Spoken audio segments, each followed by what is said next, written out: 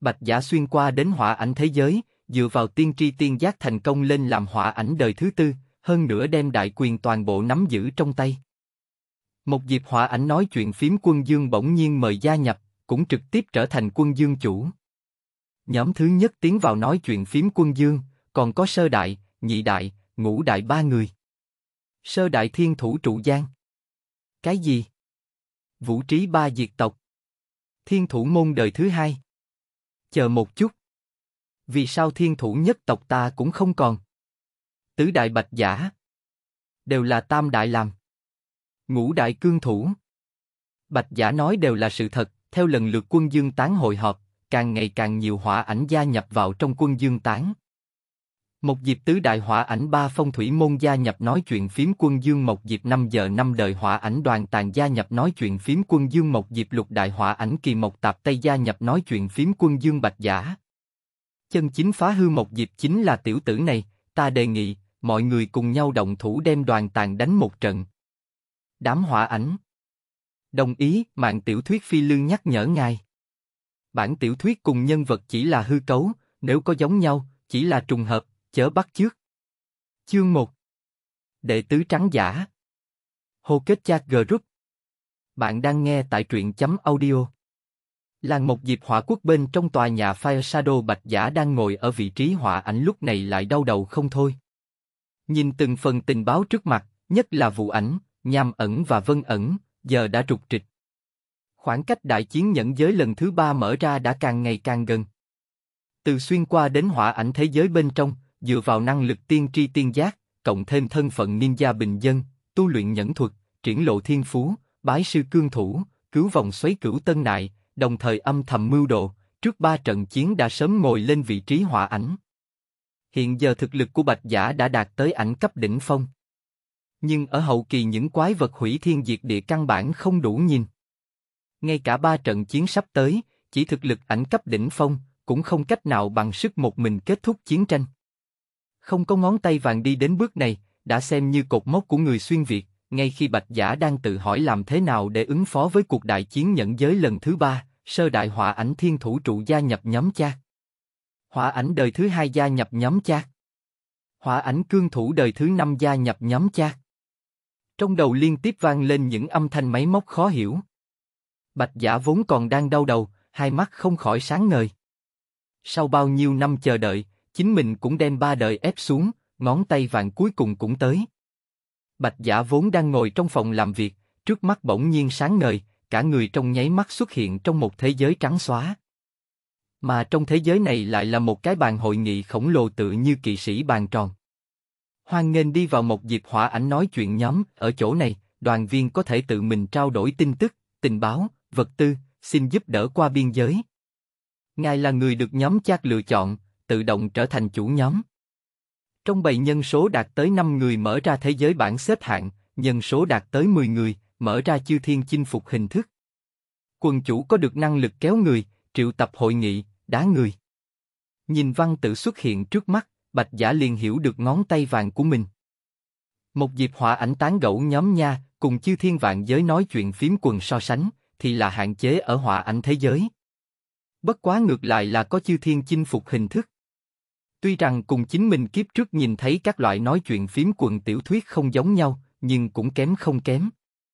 Ngược lại, có một số thành viên trong nhóm nói chuyện phím tâm tư khác nhau, so với những người đó, hiện giờ nơi này đều là bóng lửa của một dịp, về sau chinh phục chư thiên vạn giới thời điểm ngược lại là có thể đem kình dụng cùng một chỗ. Điều duy nhất khiến Bạch Dạ cảm thấy có chút đáng tiếc chính là ngón tay vàng này tới cũng quá muộn. Chính mình đều thành hỏa ảnh, ngón tay vàng này mới tới. Nhìn ngón tay vàng của mình, ánh mắt Bạch Giả lại đặt ở trên danh sách trong nhóm hiện giờ. Hỏa ảnh đời thứ tư. Bạch Giả, nhóm chủ, một. Tên đề tài. Giải pháp nâng cao hiệu quả đầu tư phát triển kết cấu hạ tầng thương mại. 2. Mễ phất thập nhất trác thích văn, phần 2, B5, 05 giá trị thông số cờ giờ, cài 2, không nghĩ tới thoáng cái liền kéo vào ba cái họa ảnh, hơn nữa còn toàn bộ đều là thiên thủ nhất tộc. Nhưng nghĩ lại cũng đúng, nếu như đem cương thủ đổi thành viên phi nhật trảm đời thứ ba thì thú vị rồi. Để sơ đại cùng nhị đại biết thiên thủ nhất tộc là đồ đệ tốt của hắn chỉnh không có, với tính tình đời thứ hai, phỏng chừng viên phi không chết cũng phải lột da. Nhìn thành viên nhóm hiện tại, người kéo phía dưới hiện giờ vẫn còn màu xám ảm đạm, tạm thời không có cách nào tiếp tục kéo người, muốn mở ra chức năng bảng xếp hạng thế giới phỏng chừng phải tới lần sau. Sau khi hoàn toàn hiểu rõ ngón tay vàng, Bạch Giả cũng trực tiếp ấn nút triệu tập hội nghị. Đinh. Do nhóm chủ tứ đại hỏa ảnh Bạch Giả khởi xướng hội nghị tổ chức họp nhóm thành viên. Sau khi hội nghị mở ra, ý thức của bản thân hỏa ảnh sẽ đến hội nghị bàn tròn, mặt đối mặt nói chuyện với nhau. Cứ cách 3 tháng triệu tập một lần hội nghị, nhóm thành viên phải toàn bộ thành viên tham gia nương theo tiếng nhắc nhở của hệ thống truyền ra. Sau khi nhắc nhở toàn bộ việc triệu tập hội nghị một lần, một đạo quan môn trong nháy mắt xuất hiện trong không gian. Gỗ 10 năm trong trụ sở của thiên thủ thôn Mộc Diệp, lúc này thiên thủ trụ làm hỏa ảnh sơ đại lại hơi suy yếu nữa nằm trên giường. Một bên là hồ nước xoáy phụ trách chiếu cố trụ cột. Cùng với ngàn cánh tay đến thăm. Khụ khụ khụ, gần đây trong thôn thế nào? Nhìn thiên thủ trụ suy yếu vô cùng, thiên thủ môn cũng là vẻ mặt lo lắng. Đối với trụ giang hỏi thăm, môn giang trầm tư một lát sau liền mở miệng nói. Không cần lo lắng trong thôn đại ca. Hiện tại quan trọng nhất là thân thể của ngươi. Bây giờ những thôn khác chỉ sợ đều chú ý đến thân thể của ngươi. Nếu như tình huống lại chuyển biến xấu, chỉ sợ nhẫn giới lại loạn lên. Nghe được câu trả lời của cánh cửa, trụ giang không khỏi nhìn nhìn thân thể của mình. Lập tức trên mặt tràn đầy vẻ bất đắc dĩ. Sau khi chiến đấu với bang, thân thể của mình không ngừng chuyển biến xấu. Với tốc độ hiện tại, chỉ sợ thời gian của mình cũng không có bao nhiêu. Nghĩ tới đây, mặt trụ không khỏi lộ vẻ khó xử. Chỉ sợ thật sự giống như lời cánh cửa nói, chỉ cần mình vừa chết, nhẫn giới lại rung chuyển. Ngay khi trụ cột vừa định mở miệng cùng cánh cửa dặn dò điều gì đó, trong đầu bỗng nhiên vang lên một âm nhắc nhở máy móc. Ngài đã gia nhập một dịp hỏa ảnh nói chuyện nhóm, nhóm chủ bạch giả triệu tập hội nghị bàn tròn, mời đúng hạn tham gia. Nghe những giọng nói trong đầu, trụ giang không khỏi sửng sốt. Lập tức ánh mắt ngưng tụ, ở trong phòng nhìn quanh một vòng. Cảm giác không có gì dị thường, trụ giang không khỏi mở miệng nói. Thủy hộ, cánh cửa giang, hai người các ngươi không có nghe thấy thanh âm gì sao? Nhìn trụ cột đột nhiên ngồi dậy, lúc này vòng xoáy thủy hộ cùng cánh cửa hai người không khỏi hai mặt nhìn nhau. Có chút không hiểu đại ca làm sao vậy, bất quá vẫn đồng loạt lắc đầu. Di thấy hai người đều không nghe được, trụ giang cũng có chút tò mò. Không có chakra dao động, hơn nữa bằng vào thực lực của mình, cũng không có khả năng có người có thể ở chính mình không hề phát hiện dưới tình huống cho mình hạ ảo thuật. Trong trường hợp không phải, trụ giang giờ phút này cũng chú ý tới hàng chữ ban đầu kia. Hỏa ảnh tán gẫu nhóm nha, như vậy nói rõ, bên trong đều là hỏa ảnh. Ngay khi trụ còn đang trầm tư, âm nhắc nhở trong đầu lại vang lên. Nhóm chủ bạch giả triệu tập hội nghị bàn tròn, mời đúng hạn tham gia. Nghe những giọng nói trong đầu, trụ cột cũng không suy nghĩ nhiều nữa, mặc kệ là cái gì, chính mình cũng phải vào xem, nếu như đối với một diệp có nguy hiểm, vậy chính mình liền tự động bóp chết. Ở thời khắc cuối cùng của sinh mệnh đang phát huy nhiệt độ dư thừa. Gia nhập. Vừa dứt lời, hào quang bảy màu trong nháy mắt bao bọc lấy. Chương 02 Lần thứ nhất hô kết hội nghị. Bạn đang nghe tại truyện chấm audio. Bên kia cuối cùng cũng sắp kết thúc rồi, đợi đến một tháng sau cùng lôi ảnh chính thức tiến hành kết minh về sau, lần này đại chiến nên hạ màn, trong hỏa ảnh cao ốc, nhìn từng phần tin chiến thắng trong tay, hỏa ảnh thiên thủ môn đời thứ hai cũng thở phào nhẹ nhõm. Đánh nhau nhiều năm như vậy, cuối cùng cũng có thể kết thúc. Nghe lời của thế hệ thứ hai, đám người viên phi nhật trảm trong phòng cũng lộ vẻ vui mừng. Thật tốt quá, sư phụ. Đúng vậy, cuối cùng cũng kết thúc. Từ khi thế hệ đầu tiên qua đời, các quốc gia khác vốn luôn nhìn chầm chầm trong nháy mắt bắt đầu gây khó dễ. Lúc trước bởi vì thiên thủ trụ còn sống, các quốc gia đều đè nén ý nghĩ trong lòng không dám sang bậy. Nhưng sau khi qua đời giữa thiên thủ trụ, các quốc gia trong nháy mắt mở ra chiến tranh, Vân ẩn thôn, quốc gia của lôi, là người đầu tiên phát động tấn công một dịp. Mà thiên thủ môn thì là hỏa ảnh đời thứ hai xuất lĩnh một dịp tinh nhuệ bước lên chiến trường, đồng thời không ngừng bồi dưỡng nội tình trong thôn, viên phi nhật trảm, đoàn tàn, vũ trí ba kính cũng nhanh chóng trưởng thành. Ngay khi mọi người đều thở phào nhẹ nhõm, đoàn tàn lại bỗng nhiên mở miệng nói. Lão sư, mặc dù muốn cùng lôi ảnh kết minh, nhưng là kết minh địa điểm lại ở lôi chi quốc địa bàn. Vẫn là phải cẩn thận một chút mới được. Nghe được lời nói của đoàn, thiên thủ môn cũng gật đầu tán thành. Bất quá là đệ nhất thần tốc của nhẫn giới, nếu có tình huống đột phát cũng đủ để ứng đối. Ha ha ha, không cần lo lắng. Hiện giờ các thôn nhẫn mấy năm nay đều tiêu hao rất lớn. Vật tư các thôn cũng không đủ để chống đỡ tiếp tục đánh tiếp. Đoàn Tàng nghe vậy liền không nói gì. Ngay khi thiên thủ môn chuẩn bị nói tiếp điều gì đó, một đạo tiếng máy móc nhắc nhở trong nháy mắt vang lên trong đầu. Ngài đã gia nhập một dịp hỏa ảnh nói chuyện phím nhóm cây nhóm chủ bạch giả tổ chức hội nghị bàn tròn. Mời tham gia đúng giờ. Người nào? Âm thanh nhắc nhở bất thình lình này trong nháy mắt làm cho thiên thủ môn cảnh giác. Bây giờ vẫn còn trong thời chiến. Điều này làm cho thiên thủ môn không thể không cẩn thận cảnh giác. Dù sao trong lúc chiến tranh cũng không thiếu những thôn khác phái tới ám sát hỏa ảnh hắn. Sư phụ làm sao vậy? Có kẻ thù nào không? Tình huống gì? Nhìn thiên thủ môn đột nhiên cảnh giác, đám người viên phi không khỏi liếc mắt nhìn nhau. Ánh mắt trong nháy mắt dò xét trong phòng làm việc hỏa ảnh.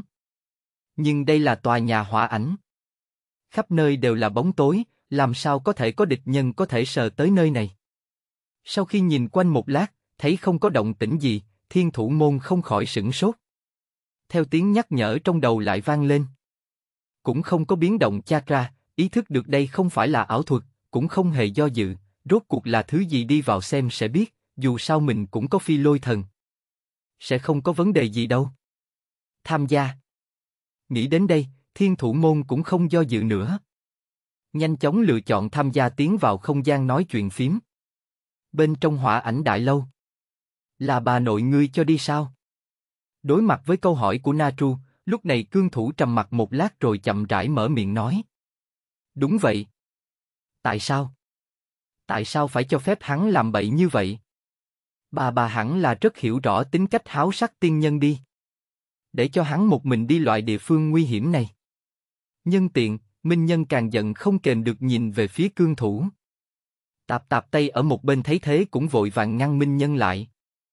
Minh Nhân. Ngươi không phải không hiểu tâm tình hỏa ảnh đời thứ năm chứ nghe câu này, Minh Nhân trong nháy mắt trầm mặt. Lập tức xoay người rời khỏi phòng. Lúc sắp rời đi, Minh Nhân bỗng nhiên nhìn về phía cương thủ.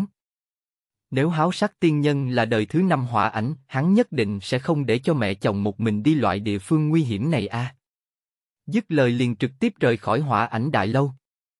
Mọi người ở lại trong phòng làm việc hỏa ảnh thấy thế cũng đều trầm mặt xuống. Nhìn vẻ mặt cương thủ, mọi người cũng nhao nhao cáo lui, một mình giữ cương thủ trong phòng làm việc. Một mình đối mặt với văn phòng trống rỗng, lúc này cương thủ trong nháy mắt buông xuống hết thảy ngụy trang, vẻ mặt có chút cô đơn nhìn tình báo trước mặt. Khốn kiếp ngay khi cương thủ suy nghĩ hàng vạn hàng nghìn, trong đầu trong nháy mắt vang lên một đạo tiếng nhắc nhở máy móc.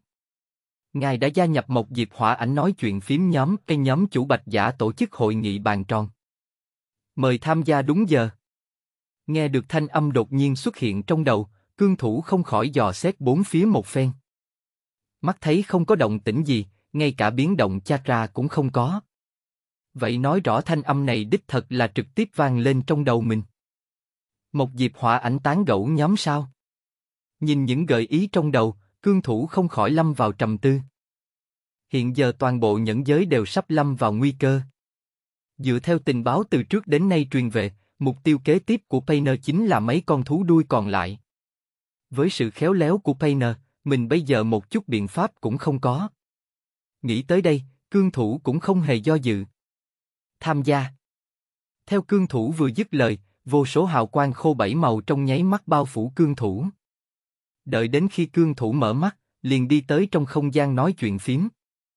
Mà lúc này bạch giả, nhìn màn sáng bảy màu xuất hiện sau khi tuyên bố triệu tập trước mặt, ba đạo thân ảnh rất nhanh theo thứ tự từ trong màn sáng bảy màu đi ra. Người đầu tiên đi ra chính là nam tử mặc hỏa ảnh ngự thần bào để tóc dài. Di, địa phương thật thần kỳ. Cảm giác vết thương trên người hình như cũng không còn chuyển biến xấu nữa nhìn hết thảy trước mắt, cùng với thân thể biến hóa, thiên thủ trụ đi ra đầu tiên nhất thời càng thêm tò mò. Mà lúc này thiên thủ trụ cũng chú ý tới bạch giả ngồi ở vị trí đầu hội nghị bàn tròn. Không đợi trụ mở miệng hỏi. Sau lưng lại có một thân ảnh đi ra. Một thân chiến giáp màu lam đã trải qua phong sương đều thể hiện dũng khí của người tới. Hả? Đại ca.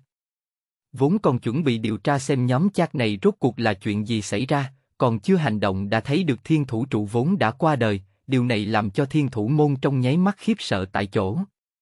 Nhất là trước mắt xuất hiện trụ giang chính là còn sống bộ dáng, không phải uế thổ chuyển sinh ra tàn thứ phẩm. Di cánh cửa A. Không nghĩ tới ngươi cũng tới A, ta còn tưởng rằng chỉ có ta nghe được đâu nhìn thiên thủ môn đi ra phía sau, trụ giang cũng là vẻ mặt kinh hỉ, không đợi hai người trao đổi một phen. Một đạo kinh hô lại từ phía sau hai người truyền đến. Đại gia gia. Còn có nhị gia gia. Chương 03 Đây là hô kết chat group. Bạn đang nghe tại truyện chấm audio. Vốn định tới nơi này tìm biện pháp bảo vệ Mộc Diệp, dù sao Mộc Diệp họa ảnh nói chuyện phím nhóm, báo ý tưởng ngựa chết làm ngựa sống đã lựa chọn tham gia, kết quả cương thủ vừa tiến vào, liền phát hiện đại gia gia và nhị gia gia vốn đã chết lại đứng trước mặt mình. Cho nên cương thủ có chút khó tin phát ra một tiếng kinh hô, đại gia gia. Còn có nhị gia gia. Nghe được thanh âm, hai người không khỏi nhìn về phía sau. Nhìn cương thủ từ trong màn sáng đi ra, hai người không khỏi sửng sốt. Nhưng thật ra liếc mắt một cái liền nhận ra cương thủ, mà trụ giang thì cẩn thận nhìn chầm chầm cương thủ một chút, nhất là khi nhìn thấy chiếc áo khoác viết chữ đánh bạc trên người cương thủ, một thân ảnh ham cờ bạc như mạng trong nháy mắt hiện lên trong đầu trụ giang. T. Ngươi là tiểu cương. Ngay khi trụ cột khiếp sợ cương thủ trước mắt, cánh cửa bên cạnh lại nhìn hỏa ảnh ngự thần mạo trên đỉnh đầu cương thủ. Trên mặt lộ ra vẻ đăm chiêu. Ngay khi ba người khiếp sợ không thôi, một thanh âm đột nhiên truyền đến, phá vỡ cục diện bế tắc giữa ba người. Khụ khụ, nếu đã đến đông đủ rồi vậy mời ba vị hỏa ảnh ngồi xuống trước đi. Nơi này là một dịp hỏa ảnh nói chuyện nhóm, đều là người một nhà, đều trước ngồi xuống, chúng ta chậm rãi trò chuyện. Bạch giả dứt lời, liền hướng về ba người mỉm cười ý bảo. Hả? Ngươi là ai? Nghe Cyrano nói, cánh cửa không khỏi trầm giọng nói. Bạch giả thấy thế cũng nhanh chóng xoay người sang chỗ khác. Lộ ra bốn đời một hỏa ảnh sau lưng ngự thần bào trên người. Ta là hỏa ảnh bạch giả đời thứ tư. Bốn thế hệ. Nhìn ngự thần bào trên người bạch giả. Cánh cửa đời thứ hai không khỏi khẽ gật đầu. Trụ cột bên cạnh lại đầy vẻ khó hiểu. Về phần nghi hoặc, đợi lát nữa lại hỏi. Ngay khi hai người chuẩn bị ngồi xuống, cương thủ bên cạnh vẻ mặt hồ nghi nhìn bạch giả chầm chầm. Không đúng hỏa ảnh đời thứ tư hẳn là ba phong thủy môn mới đúng. Đối mặt với sự nghi ngờ của cương thủ, bạch giả cũng không sao cả cười cười. Thế giới chúng ta đang sống là một thế giới riêng biệt mà một dịp hỏa ảnh nói chuyện phím nhóm thì là đem những này đơn độc trong thế giới trở thành hỏa ảnh chúng ta, kéo vào cái này nói chuyện phím nhóm bên trong. Về phần tôi, trong thế giới ban đầu, phía trước đều phát triển giống như lịch sử của ngũ đại mục. Mà ta chỗ ở thế giới, giống như là thế giới song song, tại thế giới này, ta thuận lợi chen chút mất đi ba đời, sớm trở thành hỏa ảnh, mà không phải ba phong thủy môn. Nghe câu trả lời của Cyrano, trong ba người, tốc độ tiếp nhận của thế hệ thứ hai là nhanh nhất, nhất là sau khi nhìn thấy trụ cột còn sống, sau khi nghe Bạch Dạ giải thích, nhị đại liền hiểu rõ tất cả. Thì ra là thế. Vậy nếu Bạch Giả ngươi là đời thứ tư, cương thủ ngươi thì sao? Đối mặt với câu hỏi của cánh cửa, cương thủ sửng sốt bất quá rất nhanh liền phản ứng lại. Ngũ đại mục ngũ đại mục sao? Gặp cương thủ dĩ nhiên là ngũ đại mục, cánh cửa không khỏi lâm vào trầm tư. Dĩ nhiên có thể ở đời thứ năm hỏa ảnh đem cương thủ tuyển lên, vậy chỉ có thể nói rõ một chuyện, chính là một dịp trong lúc này nhất định đã xảy ra rất nhiều chuyện.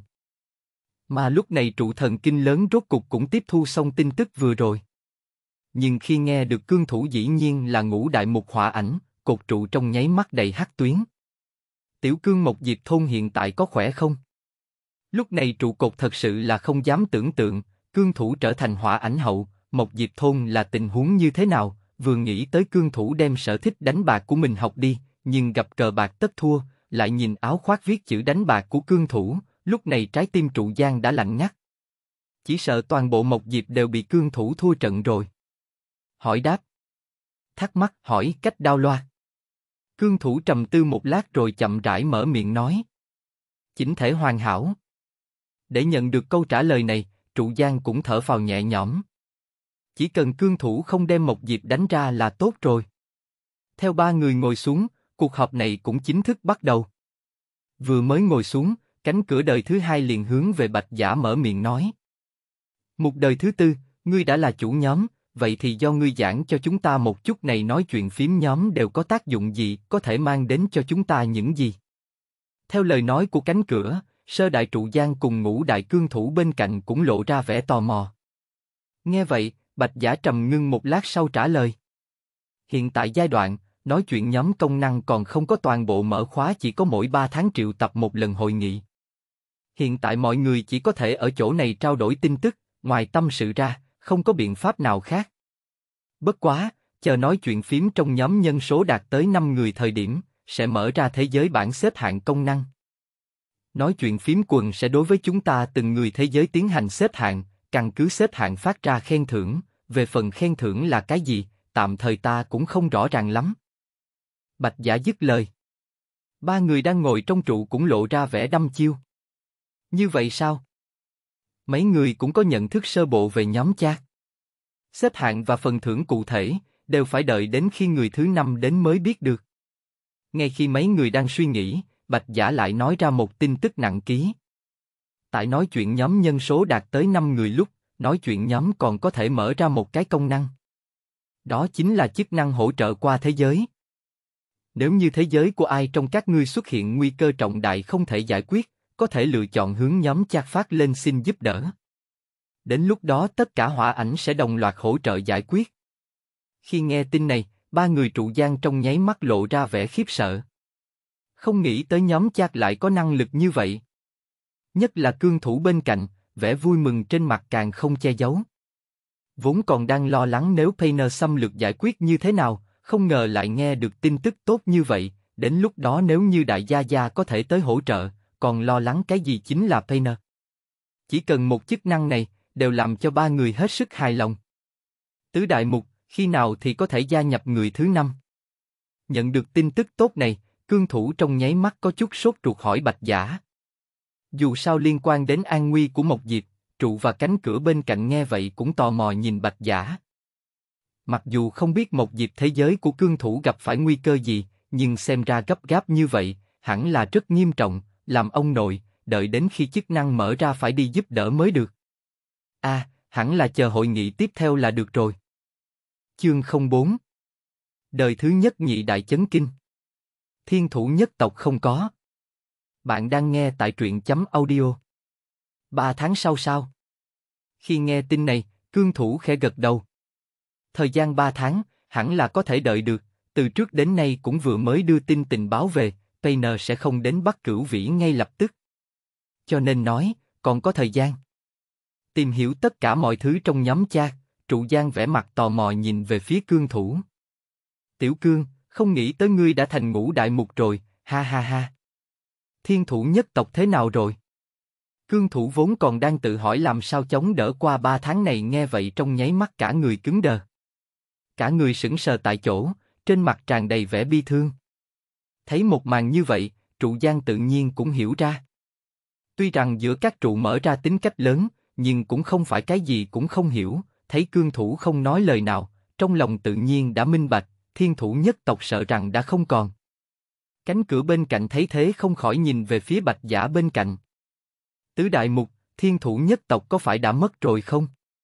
Lúc này trên cánh cửa đời thứ hai thần tình khó có thể tin, chính mình đem thiên thủ nhất tộc hóa thành không dung nhập vào trong một dịp. Chỉ để lại một chi chủ hệ thiên thủ nhất tộc sinh sống trong tộc địa. Thiên thủ nhất tộc khổng lồ làm sao có thể diệt tộc được? Nhìn ánh mắt hy vọng của cánh cửa đời thứ hai, Bạch Giả cũng khẽ thở dài.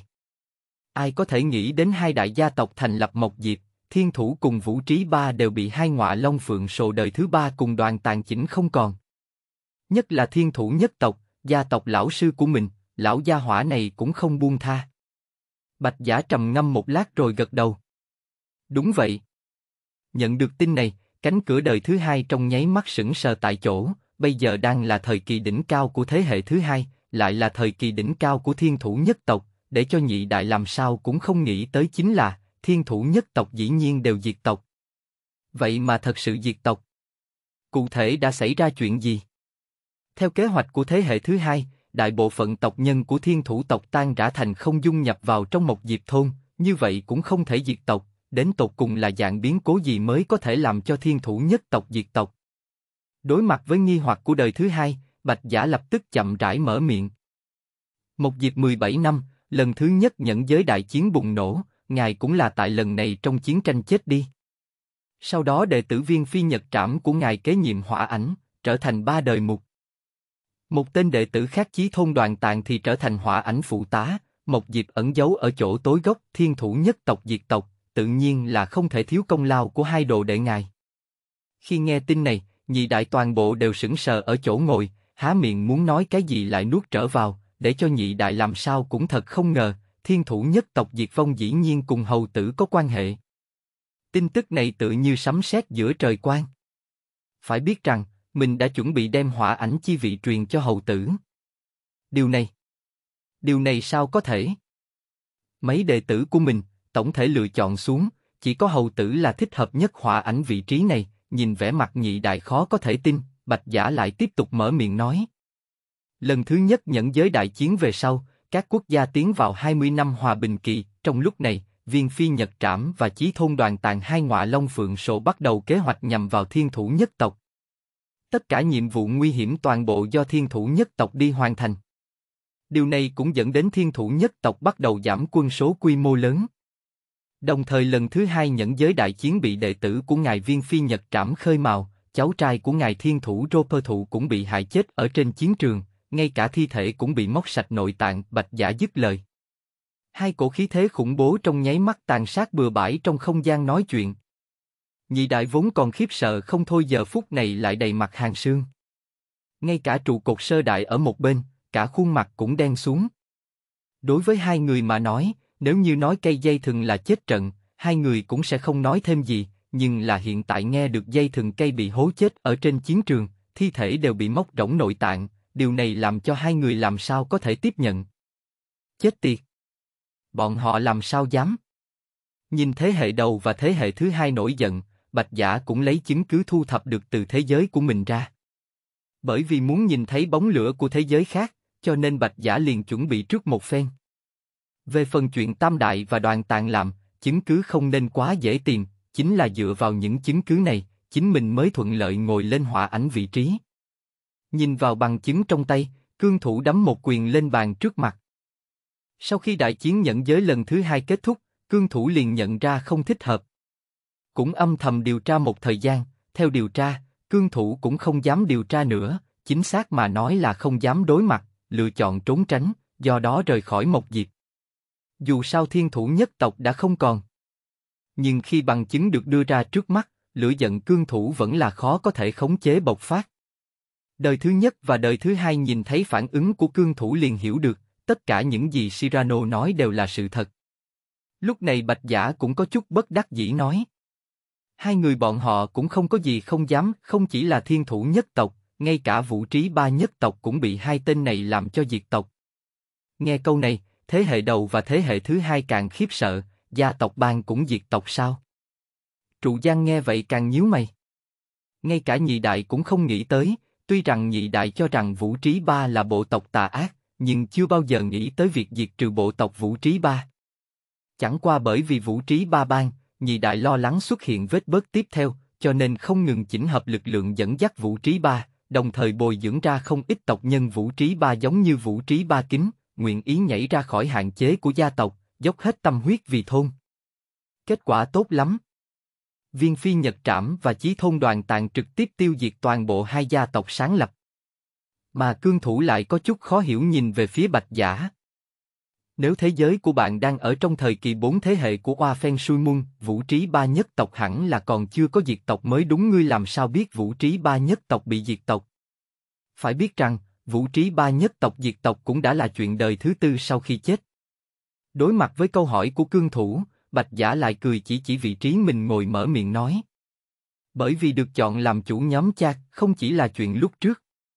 Cho dù là chuyện sau ngũ đại mục ta cũng biết một hai. Chương không năm Kịch thấu tương lai, hai người nếu không có. Bạn đang nghe tại truyện chấm audio. Máy dịch này đang gặp lỗi, vui lòng thử máy dịch khác. Chương 06 Nhị đại Ta đã có một cái thành thục. Bạn đang nghe tại truyện chấm audio.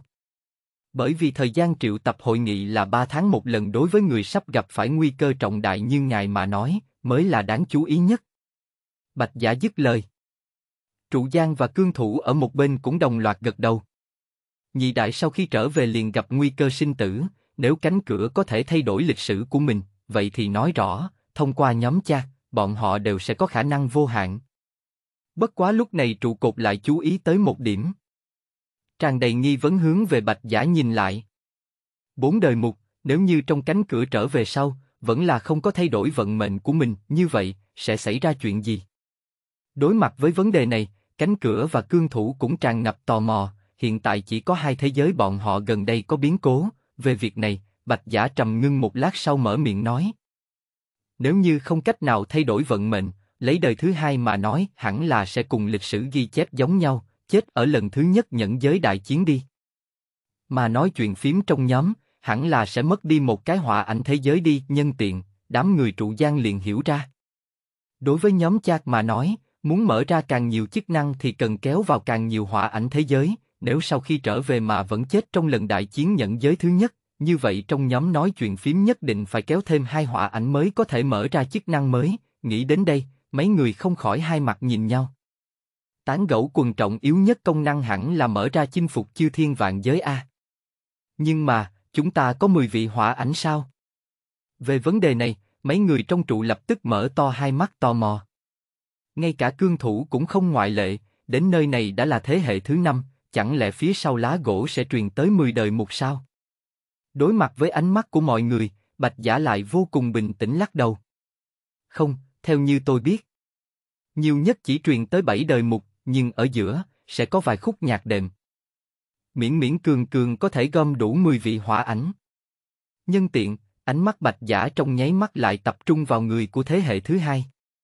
Cho nên, nếu nhị đại sau khi trở về, vẫn chết trong đại chiến nhận giới lần thứ nhất. Mà nhóm cha không thể bổ sung cho thế giới họa ảnh mới, chức năng của nhóm cha kia vĩnh viễn không thể mở ra chức năng cuối cùng. Trụ Giang và Cương Thủ nghe vậy, nhất thời vẻ mặt lo lắng nhìn về phía cánh cửa.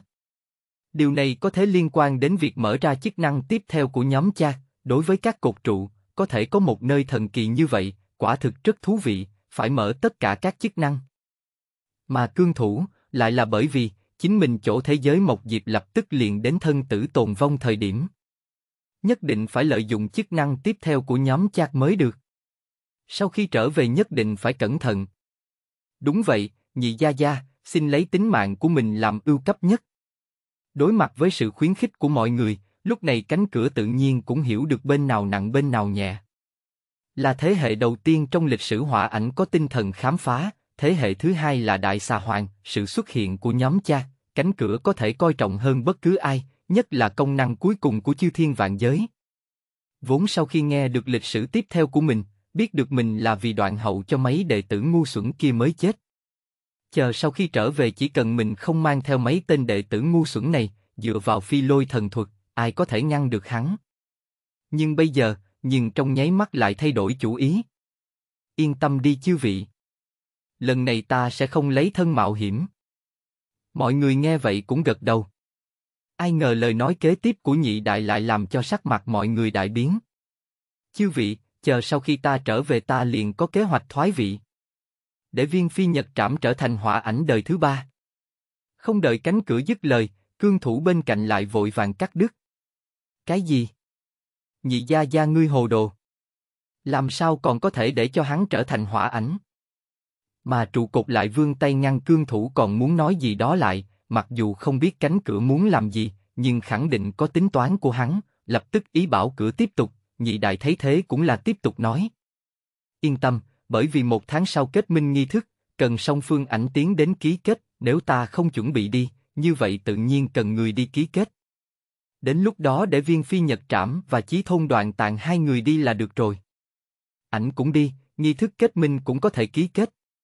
Về phần có thể sống sót trở về hay không nhân tiện, cánh cửa liền ngừng lại. Cương thủ bên cạnh trong nháy mắt an tĩnh lại. vẻ mặt khiếp sợ nhìn nhị gia gia của mình. Ngay cả bạch giả cũng có chút kinh ngạc. Không hổ là thiết huyết phái bên trong một diệp hỏa ảnh. Đời thứ hai trong trí nhớ chính là người khiến một diệp nhanh chóng phát triển, bao gồm ám bộ, trường ninja, đội bảo vệ một diệp. Bây giờ nhìn xem, vẫn có chút coi thường vị hỏa ảnh đời thứ hai này.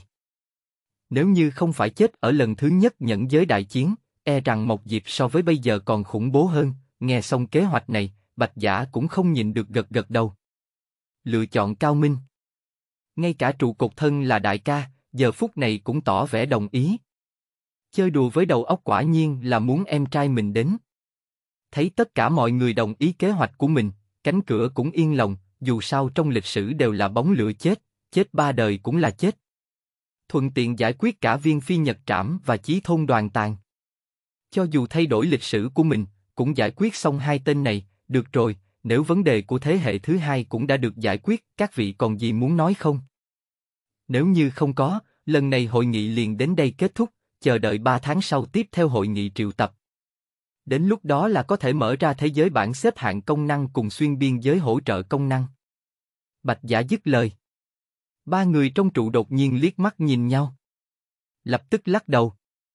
Những gì nên hiểu đều đã hiểu qua, đối với trụ cột mà thôi, mình còn có thời gian 2 năm, đến lúc đó trong nhóm nói chuyện phím hẳn là có biện pháp trị liệu thân thể của mình, mà sau khi chuẩn bị trở về lập tức bắt đầu kế hoạch của mình, dù sao thời gian của mình là cấp bách nhất. Về phần cương thủ, thì chờ mong hai chức năng sắp mở ra sau hội nghị lần thứ hai. Thấy ba người đều không có vấn đề gì, Bạch Giả liền trực tiếp lựa chọn kết thúc hội nghị. Theo hào quang bảy màu trong nháy mắt bao phủ tất cả mọi người. Sau đó cảnh tượng chợt lóe, chờ Bạch Giả chậm rãi mở mắt ra, liền phát hiện mình đã trở lại văn phòng của mình. Chương 7 Hội nghị kết thúc, các phương phản ứng. Bạn đang nghe tại truyện chấm audio. Nhìn bố trí quen thuộc trước mắt, trụ giang vội vàng từ giường ngồi dậy. Đã trở về rồi mà mà giờ phút này trụ cột lại chú ý tới, thủy hộ và cánh cửa bên cạnh cũng ở đó. Hả? Đại ca, cái gì đã trở lại sao? Đối với trụ cột giật mình, thủy hộ cũng sớm đã thành thói quen, dù sao tính cách thần kinh của chồng mình không phải ngày một ngày hai, cánh cửa bên cạnh lại cảm thấy có chút khó hiểu, cái gì đã trở lại? Không phải mình cũng đã trở về một hồi lâu rồi sao? Hơn nữa vừa trở về liền đến trụ cột nơi này. Đối mặt với nghi hoặc của cánh cửa, trụ giang vội vàng khoát tay tỏ vẻ không có gì, bất quá làm cho trụ cột không nghĩ tới chính là, trong nhóm nói chuyện phím lâu như vậy, kết quả trong hiện thực chỉ trong nháy mắt. Thật kỳ diệu. Nhìn cánh cửa còn có vẻ non nớt trước mắt, trụ giang lại nghĩ tới họa ảnh môn đời thứ hai nhìn thấy trong nhóm cha, mặc dù tất cả đều là cùng một người, nhưng cánh cửa trước mắt rõ ràng còn cần trưởng thành vài năm, nhưng nghĩ đến kế hoạch cuối cùng của thế hệ thứ hai, trụ giang không khỏi nhìn chầm chầm cánh cửa trước mắt. Không nghĩ tới tiểu tử này có thể nghĩ ra kế hoạch như vậy. Giống như không hề để ý đến đệ tử của mình. Trầm tư một lát sau, trụ giang bỗng nhiên nở nụ cười. Bởi vì đó ngược lại là phụ hòa tính cách của cánh cửa. Muốn làm cái gì là thật sự sẽ không lưu tay. Tự như thiên thủ nhất tộc cùng vũ trí ba nhất tộc chiến đấu, thiên thủ trụ giang thân là tộc trưởng cùng vũ trí ba bang đánh nhau chơi đùa, mà đệ đệ của hai người lại liều mạng hạ tử thủ, không làm chết đối phương thề không bỏ qua. Nhìn đại ca trước mắt một hồi cười ngây ngô, một hồi lẩm bẩm. Cánh cửa không khỏi nhìn về phía thủy hộ bên cạnh. Giờ phút này trụ cột bị hai người nhìn chầm chầm có chút không được tự nhiên, cũng là vội vàng mở miệng nói. Cánh cửa giang, nghe nói ngươi gần đây thu mấy cái đệ tử. Hả? Đúng vậy đại ca. Đề cập đến chủ đề này, cánh cửa nhất thời có tinh thần. Ngươi cũng biết a đại ca, ta hiện tại thu ba đệ tử. Viên phi nhật trảm, chí thôn đoàn tạng và vũ trí ba kính. Nhất là kính, mặc dù là vũ trí ba nhất tộc, nhưng là lại tâm hệ một diệp, là một hài tử không tồi. Nghe thấy tiếng cánh cửa, trụ giang thiếu chút nữa nhìn không được bật cười. Chính mình đương nhiên biết ngươi thu đệ tử, còn biết hai đệ tử xui xẻo của ngươi đã tiêu diệt thiên thủ nhất tộc và vũ trí ba nhất tộc. Đối với việc này, trụ cột cũng trực tiếp mắc mưu.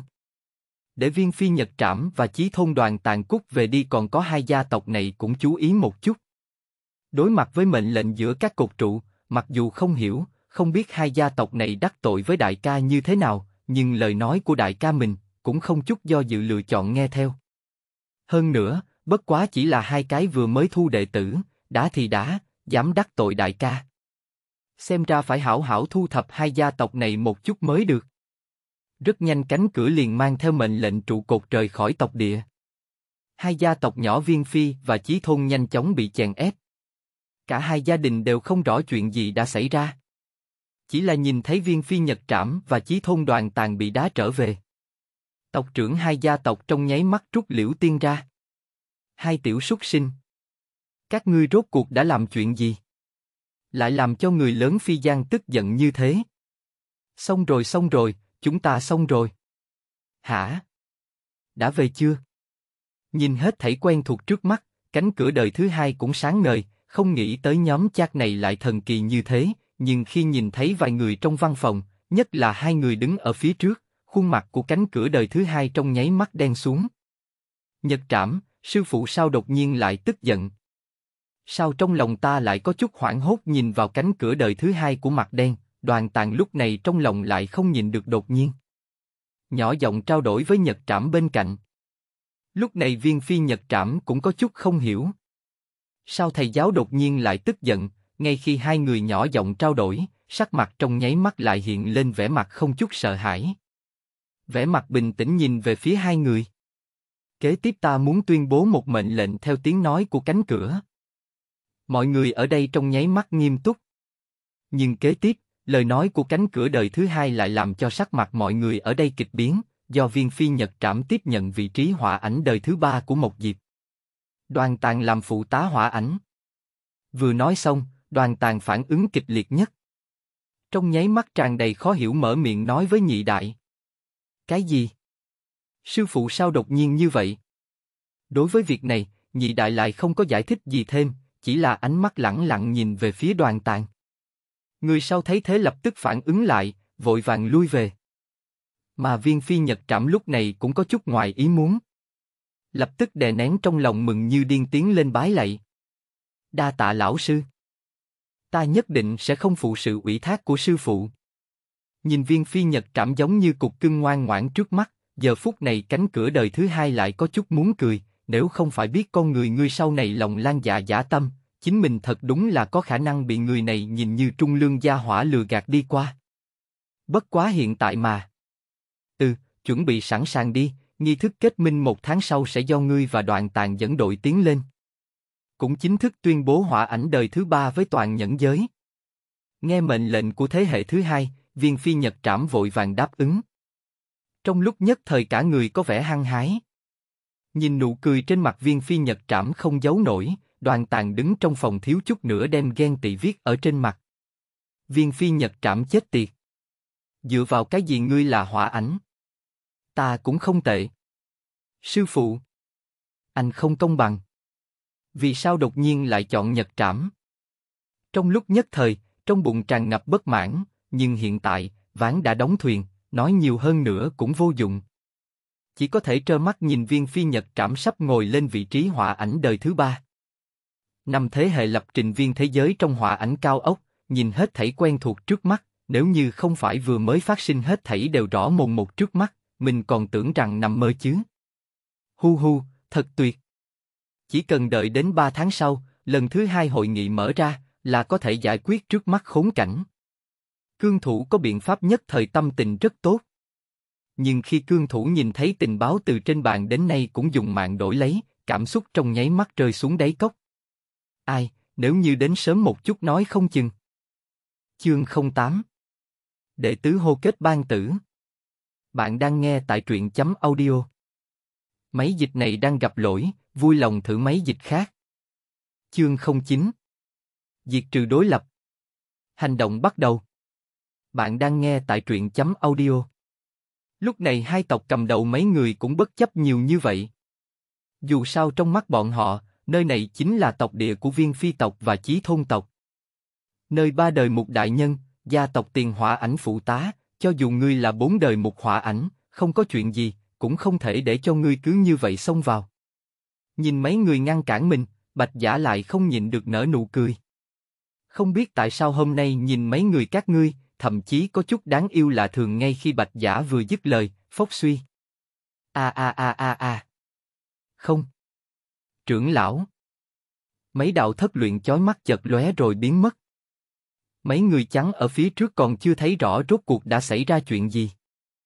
Nương theo vài cái đầu phóng lên cao, cùng với kinh hô phát ra xung quanh, giờ phút này mọi người mới chú ý tới kỳ mộc sóc mậu đứng ở phía sau bạch giả giờ phút này đang chậm rãi thu đao.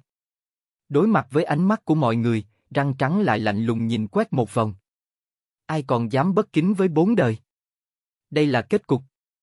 Dứt lời liền lui về phía sau bạch giả. Một tay này, trong nháy mắt kinh sợ tất cả mọi người ở đây. Không ai dám tiến lên ngăn cản. Khụ khụ. Tứ đại mục, ngươi hơi quá rồi. Ngay khi người của hai tộc Viên Phi và Chí Thôn ở cửa ngăn cũng không được, không ngăn cũng không được, lúc do dự, hai đạo thân ảnh chậm rãi từ trong tộc đi ra. Người chưa tới, thanh tới trước, thấy người đến, tộc nhân hai tộc trong nháy mắt liền trấn định lại.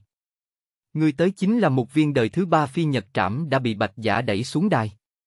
Cùng với đoàn dân làng Mộc Diệp Chi ám chí tan học sớm. Ngay sau khi hai người xuất hiện, hai mắt bạch giả hơi ngưng tụ. Sắc mặt có chút khó chịu nhìn chầm chầm viên phi nhật trảm. Như thế nào? Còn lưu luyến vị trí hỏa ảnh đâu? Hỏa ảnh ngự thần bào này không nở cởi sao? Chỉ thấy viên phi nhật trảm đi tới trước mặt mọi người. Lúc này trên người vẫn còn mặc hỏa ảnh ngự thần bào. Nghe Cyrano nói, viên phi nhật trảm không hề để ý. Mặt dày mày dạng cười nói. Ha ha ha, người già rồi, chính là thích nhớ chuyện cũ. Vốn ở nhà ăn mặc cùng đoàn tàn hoài niệm thời gian, đây không phải là nghe được tứ đại một người tới, cũng không kịp thay đổi, cứ như vậy tới, bất quá, trước đó, tứ đại một người có phải hay không nên cho lão phu một cái công đạo. Dứt lời, viên phi nhật trảm chỉ vào mấy thi thể không đầu trên mặt đất. Sắc mặt có chút không cam lòng nhìn chầm chầm bạch giả. Viên phi nhật trảm lúc này trong lòng hận không thể đem bạch giả đại tháo tám khối. Chỉ trách mình nhìn lầm, không phát hiện ra tham vọng của người này, lại lặng lẽ thu thập đủ loại chứng cứ của mình. Cộng thêm có cương thủ ủng hộ, trực tiếp đem mình từ vị trí họa ảnh lấy xuống, nói đến cương thủ, viên phi nhật trảm càng thêm tức giận. Lại giúp đỡ người ngoài đối phó với lão sư của mình. Hôm nay nhất định phải để bạch giả chịu chút đau khổ mới được. Thật vất vả nắm lấy cơ hội, chết đi mấy tộc nhân, cái giá này đáng giá. Mà đoàn tàng ở một bên thấy thế tự nhiên cũng sốt ruột nhảy ra. Gốc rễ của mình chính là tâm huyết tân tân khổ sở xây dựng ra. Chính là vì một ngày nào đó có thể thay thế vượng bay, chính mình trở thành hỏa ảnh, kết quả tất cả đều trở thành áo cưới, chức vị của mình sau khi bạch giả lên đài liền tuyên bố giải trừ, gốc rễ càng trực tiếp bị giải tán, tất cả các ninja được bổ sung vào đội hình Darkburi và Task Mà người phụ trách chuyện này lại là kỳ mộc sóc mậu. Mình căn bản không phải đối thủ, chỉ có thể cố nén đau lòng giải trừ mầm tai họa. Ngươi thật là quá kiêu ngạo bốn đời. Ngươi là hỏa ảnh. Lại dung túng thủ hạ ra tay với đồng bạn trong thôn. Phải nghiêm trị. Nhìn hai lão cậu trước mắt còn đang kêu gào. Bạch giả căn bản không có một chút ý tứ muốn phản ứng. Trực tiếp gật đầu với ba phong thủy môn bên cạnh. Người sau thấy thế liền trực tiếp chào hỏi vài tên ám bộ bên cạnh. Công bố đi. Hiểu rồi. Rất nhanh mấy người liền nhanh chóng bắt đầu kết ấn. Lá chắn đỏ thẫm bốn phía trong nháy mắt dâng lên tại chỗ. Thi triển chính là tứ xích dương trận.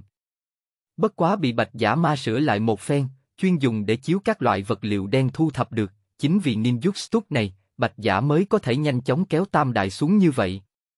Nhìn tứ xích dương trận đột nhiên dâng lên, viên phi nhật trảm và đoàn tàn trong nháy mắt sắc mặt kịch biến. Như thể trở lại thời điểm bị xét xử công khai ngày hôm đó, không tốt. Phải ngăn cản hắn. Tuy rằng không biết lúc này bạch giả lại chuẩn bị vật liệu đen gì, nhưng hai người nhật trảm không cần suy nghĩ. Có thể khiến bạch giả hưng sư động chúng như vậy tìm đến, chỉ có thể nói rõ lần này hắc liệu, đủ để cho hai người thân bại danh liệt. Không đợi hai người động thủ, Thủy Môn và Sóc Mậu một trái một phải chặn trước mặt viên phi nhật trảm. Đối mặt với hai người này, viên phi nhật trảm lúc này cũng chỉ đành dừng động tác trong tay. Lúc này mọi người Mộc Diệp Thôn cũng chú ý tới tứ xích dương trận. Hướng nhật nhất tộc nội, tộc trưởng. Chúng ta.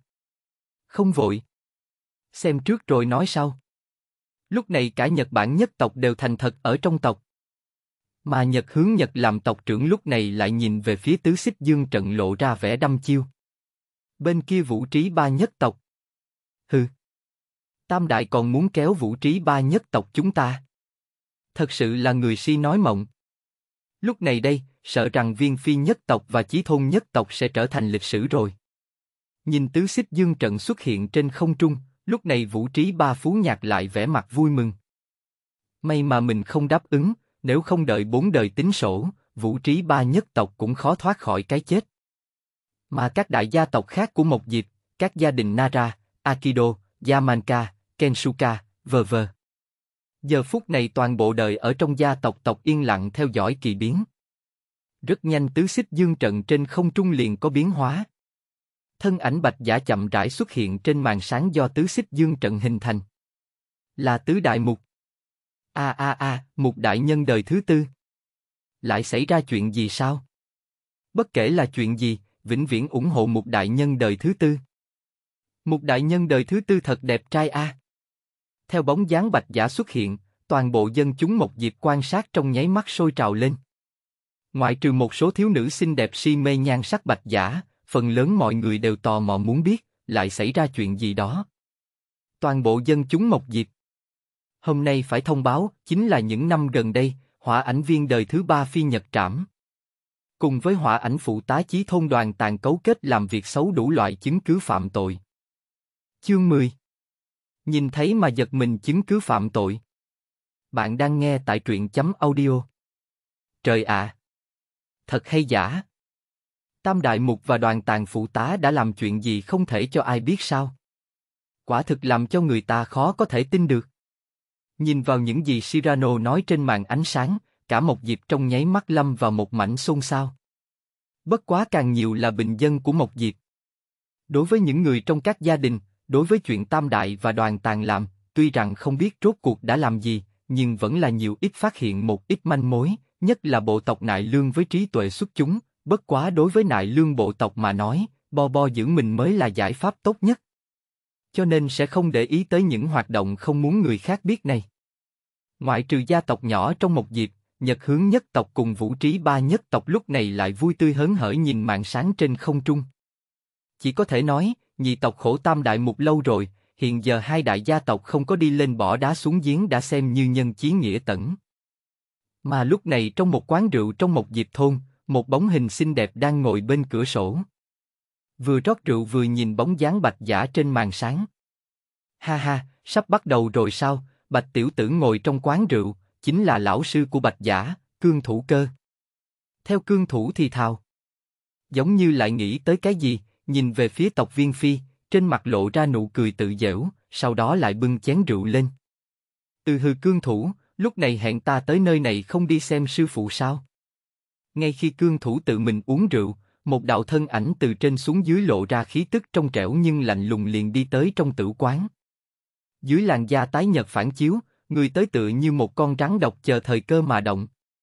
Chính là lãnh quân đại xà hoàng trong tam nhẫn cùng cương thủ, nhìn đại xà hoàng đến, cương thủ cái gì cũng không nói, chỉ là từ một bên cầm lấy một bình rượu đặt ở đại xà hoàng trước mặt, đến uống đi, mời ngươi xem một vở kịch hay. Đại xà hoàng nhìn rượu trước mặt. Lại nhìn một chút cương thủ lúc này phản phất được giải thoát, không biết đã bao lâu rồi không thấy cương thủ như vậy, lập tức cũng không nói gì nữa. Nâng ly rượu trước mặt lên uống. Khi đại xà hoàng nhìn về phía màn sáng xa xa, trong đầu lại hiện ra một màn phát sinh cách đây không lâu. Mấy ngày trước, Bạch Giả trực tiếp phát động dư luận chiến trong thôn, đem vật liệu đen đời thứ ba cùng với đoàn tàn phơi bày ra một phần nhỏ, trong nháy mắt liền đem tam đại từ vị trí hỏa ảnh kéo xuống. Tốc độ cực nhanh khiến tất cả mọi người bất ngờ. Mà Bạch Giả lại dùng tốc độ xét đánh không kịp biệt tai trọng chung ngồi lên vị trí hỏa ảnh.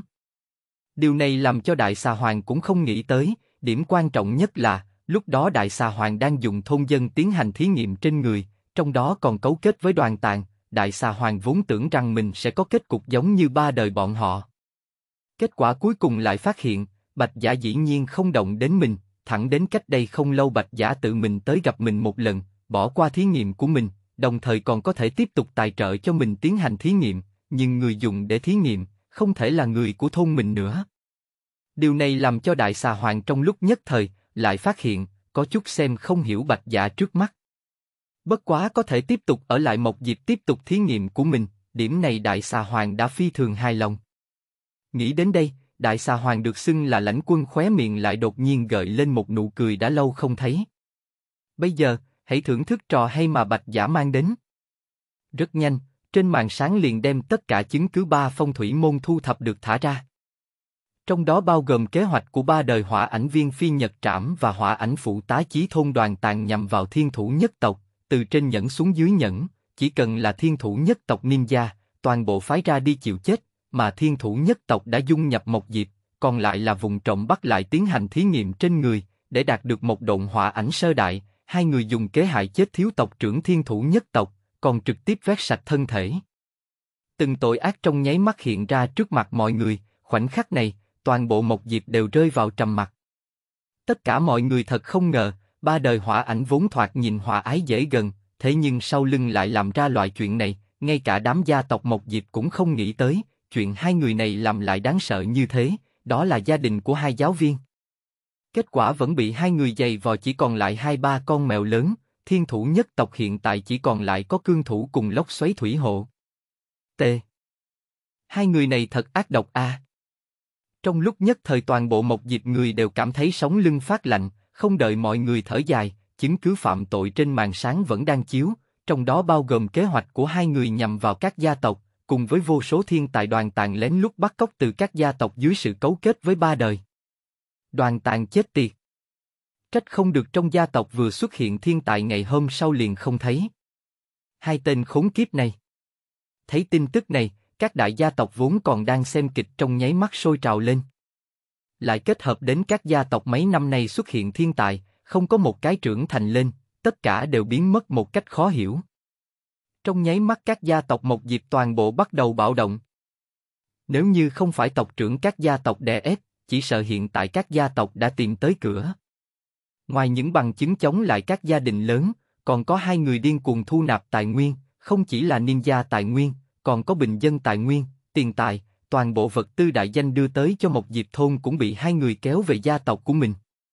Dẫn đến viên phi nhất tộc và chí thôn nhất tộc vốn chỉ là hai tiểu gia tộc một dịp, ngắn ngủi mấy năm, hiện giờ đã hoàn toàn trưởng thành đến đại gia tộc không kém Nhật Bản bộ tộc. Và trên hết, trong hai gia tộc ngoài trừ bồi dưỡng ninja, không có ninja thiên phú người thì là ăn uống vui chơi, từng cái từng cái ăn cầm thẻ muốn mập chảy dầu, nhìn một màn này, nếu ban đầu khơi mào lửa giận của các đại gia tộc, bây giờ, khơi mào chính là lửa giận của tất cả bình dân Mộc Diệp. Ba thế hệ chết tiệt. Còn gọi là tam đại. Viên phi nhật trảm không xứng làm hỏa ảnh. Đúng. Đúng vậy. Còn có lão già đoàn tàn kia. Hai tên gia hỏa đáng chết này. Quả thực tội không thể tha thứ.